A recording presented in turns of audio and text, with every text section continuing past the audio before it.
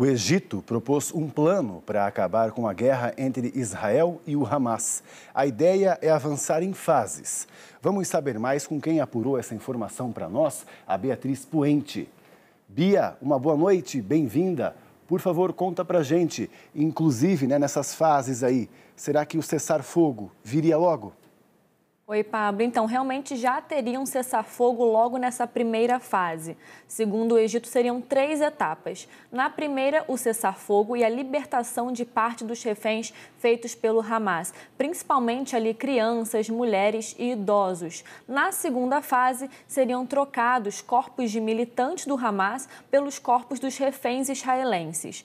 E a última fase é a mais difícil, ela envolve ali um acordo de todos por todos. Ou seja, Israel teria que devolver cerca de 6 mil prisioneiros palestinos em troca dos últimos reféns.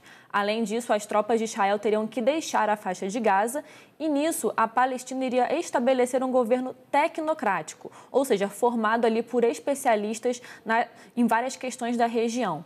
Esse governo ele não pode ser ligado ao Hamas e deve manter ali boas relações com o Egito, com o Catar e com os Estados Unidos. De início, nenhum dos dois lados negou e nem aceitou, mas isso, claro, já pode levantar ali a possibilidade de uma nova rodada de negociações entre os os dois lados, Pablo.